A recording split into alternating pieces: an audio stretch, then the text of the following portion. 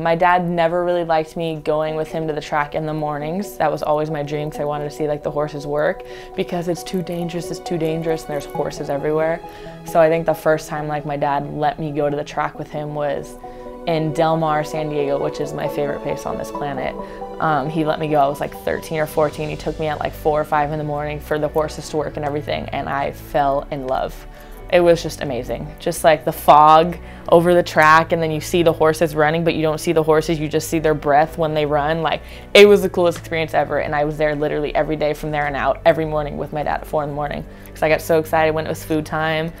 I would be the only reason carrots were allowed in the barn because my dad would say carrots are only allowed to the horses if they win. But every time he went, Dad, can we get a bag of carrots, please?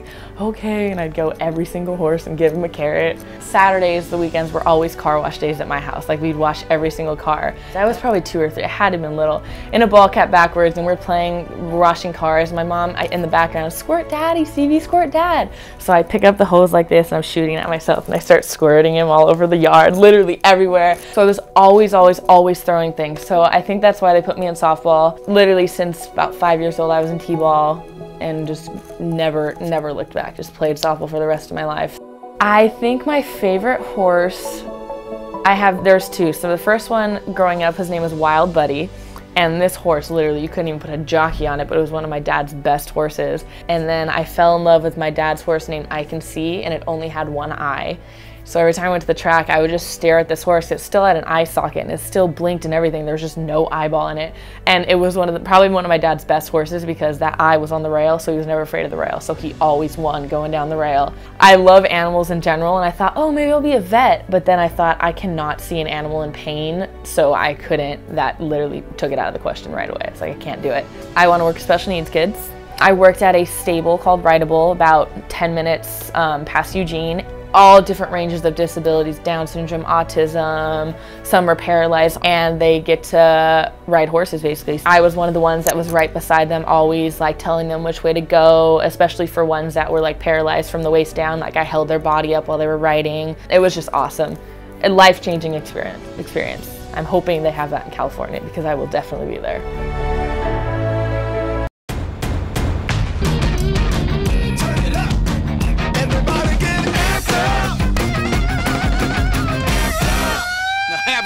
Day. Portland, about to board the plane to Las Vegas. Currently in a really hot airplane. They overbooked our flight. This is who I'm sitting next to. Potato, potato, potato, potato, potato, potato. We have arrived in Las Vegas, Nevada. Beautiful desert. We're in Las Vegas. Nevada. Mandalay Bay is where we're gonna eat tonight. Gwen Sveck is here reporting live. I stole the camera. Are you wearing clothes? Shh, no one needs to know. I'm taking over. Business major, cinema minor. Daria? That's not true. Vicky, it's called. How's your day been? Uh, it's good. I was late to the bus. Oh, good. Gwen Svekis' awful footage. Over and out.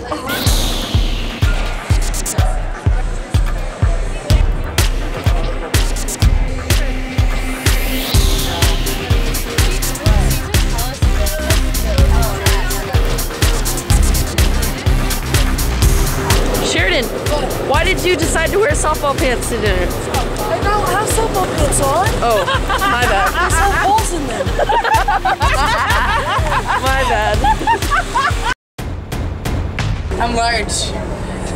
Making a Bitmoji. Day one, practice before our two games. Get ready to go.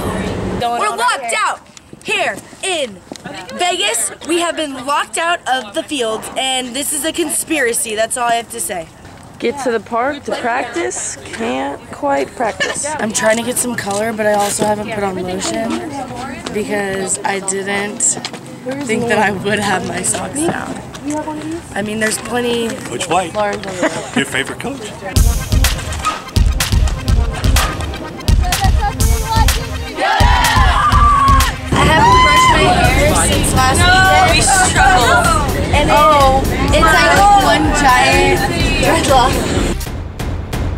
I'm looking to make a lot of changes this weekend. I'm on, there's a lot of people in and out, okay, so we're gonna move stuff around. Just make sure you don't waste your bats. If I feel like you're wasting your bats, you're trying to overswing, you're not focusing on doing the right things, make changes, all right? Um, and that's what I want to do this weekend. Make fair enough? Good, so give me the energy, all right? So pick me, put me in, want to play. Let's make sure we communicate, okay? Um, I'll be calling the signals. Um, so let's communicate, let me know where the batters are standing in the box, you know, if they're making adjustments. Um, I want us to all think together, communicate when you come off the field, we'll talk to each other. Your hair looks so good. The reason it looks good is because like if you feel it, it's like right here you can't even like feel it because there's like such like a lump of just I'm guessing excess hair. Autumn, what is one thing people don't know about you? People don't know. Hmm. People don't know that I can do this with my thumb. Yikes, that's creepy. Thumb flexibility. And I got a 2-1 for outside low. We got another Coach Dylan moment. Flex for me, baby. Yes! I made them voluptuous, like Voluptuous? I love voluptuous. yeah, like little uh little whipped cream filled donuts.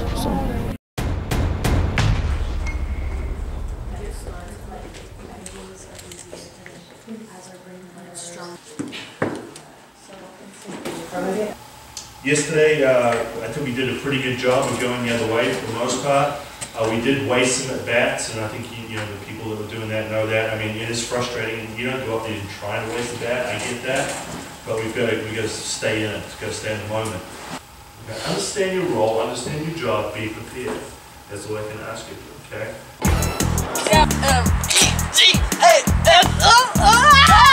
Take it what you're. It's not so much of a hook. It's more that low rise that stays right at the knees. Okay. That's the pitch you want to hit. Never heard it that way. So on the lefty, okay, soft. Right, probably 58, 59 miles per hour. Little rise, mostly drop. Lefty's probably gonna see a drop in the curve away. You're still gonna try to go in on on everybody. Just, just stick with some late rhythm and let's hit the soft stuff. All right, let's go. Hey, still anticipating the runner. Anticipating the runner. offensively, great job coming back. Um, we see rise balls every day, every day, right? We know the spin of a rise ball, and we know how to hit a rise ball. I watch coach it, and you guys are smoking balls in the gap. Okay, and I'm a, I'm a big believer that sometimes you got to see a pitcher a couple times, and this kid was pretty good. Um, but also, we need to make sure that in our approach, that we're putting in those rise ball type swings that we work on every day, and not take a snap back go. You know, if we if we attack it early from the top, and, we miss some balls, or you know, but we're just going underneath the ball, and we know the adjustment in our swing. People can't hit a rise ball because they don't know the adjustment in swing. You guys do. So let's know that before we get into that bats. This is my sister. Can't you tell we're related? Coach White has officially confirmed my nickname to Slayer. Slayer. Maddie, it's not Maddie, it's Slayer. Hey Lauren, ice in the arm. Yep. Getting right. Gwen, this is what post game Gwen looks like. Championship Sunday. Um, good team we're going to be playing. Um, they do a lot of things well. Uh, last year they hit over 100 home runs. Um, they've stolen a lot of bases. Um, pitching um, at times can be good, so we're going to make sure we're focused and come out and play a good game. Hey, I, I tell you what, what I've seen so far, we are doing an extremely good job of staying inside the ball at times and driving the balls the other way. Our best success is coming is coming middle of the field gap oppo. Okay, so we continue to do that. Great job. When you've been the How many times did you guys do that? What was that part of it? Good job. Uh, Megan didn't quite have your stuff today, but you battled and you kept that zero on the board. That's what it's about, right? Uh, sometimes you don't have your stuff, you just got to kind of fight your way through. it. But right now, we got to continue to build a little bit better. Not, you know, let's not fool ourselves. We, we need to get a lot better, um, and the capabilities are there. Like I said, the, the all are exceptional.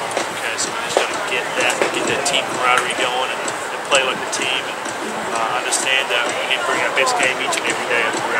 I love Doral's sweatshirt on. It's a movement. It's a movement. It's a movement. Gillespie, where are we going right now? Yogurt lives. Yogurt lives!